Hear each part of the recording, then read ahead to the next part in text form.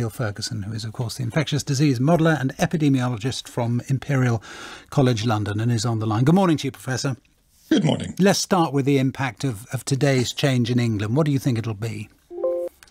So it v- very much depends on uh, the extent to which people do take that advice and get tested. Um, inevitably, lifting some measure like this will slightly reduce the effectiveness of contact tracing, um, but only slightly so long as people do take the advice to be tested and then, if they're positive, isolate.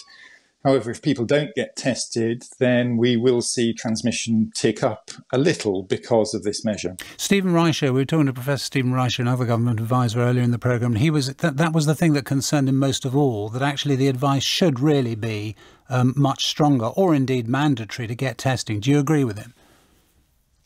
I think overall the population has been really quite cautious coming out of this last lockdown. I think it's notable that we're still in the population at much lower contact rates than um, we were before the pandemic and even lower than we were this time last summer. So, I mean, I think it's political judgment as to whether make measures mandatory or compulsory.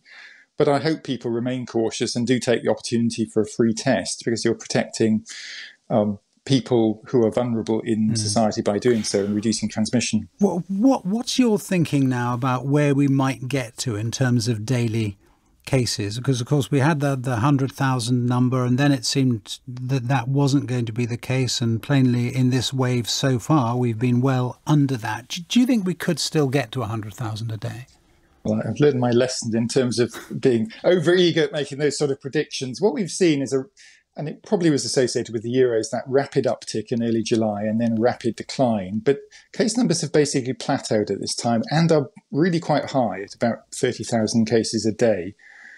That's a slightly sobering situation to be in coming into September because our contact rates, as I said, are about half of normal levels. And in school holidays, children don't have that many contacts. And we'll be reopening schools. People are going to be going back to offices in September. So we still have the potential of quite a large wave of infection in September, October. Right. So we I'm, could still get to the 100,000 or close to it it's possible. It's very hard to make those predictions at the moment. What we can be confident in is vaccination is protecting people against the most severe disease. So it's very unlikely we'll see levels of deaths, for instance, comparable with what we saw this January. The real question is more important, frankly, than the numbers of cases is what does that do to NHS demand mm. and admissions to hospitals? Um, and we, in, in the worst case scenarios, we could be getting probably not up to January levels, but still at levels of well over you know a thousand admissions per day potentially, which does stress the health system. And we already have very long backlogs in the health system, so any stress on it is is challenging. But there is a big difference. We now this we're not going to be clo- stopping this wave with lockdown. And what it will stop with is the acquisition of immunity of the population, and so will naturally decline. And that's coming back to your original intro to this, mm. that's the point where we start living with COVID, where it becomes an endemic disease. That that's a really interesting point about immunity because we heard recently from um, Professor Sir Andrew Pollard, the, the, director of the Oxford Vaccine Group. He he.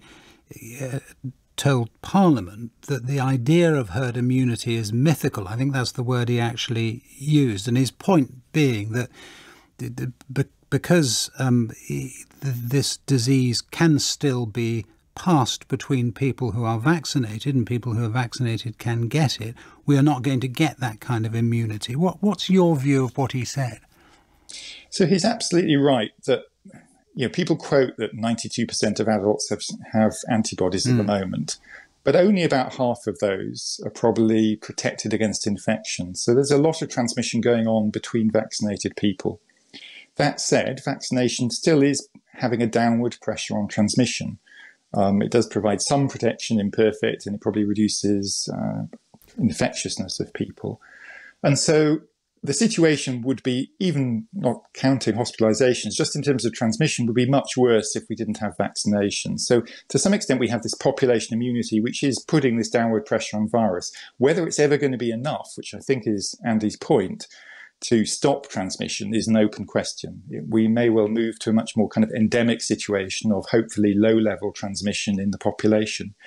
And we know that immunity wanes over time, so we'll probably have to top up vaccination mm. at some point. That's an interesting word, endemic. So, I mean, we are then talking about living with it, aren't we? What, what, what is the rate of transmission, I suppose, is the question with which we can live?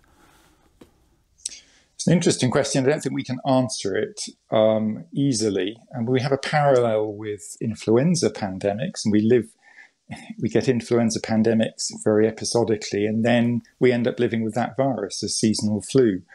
And so I think we still could see quite substantial transmission coming into the autumn, going up to uh, to the winter.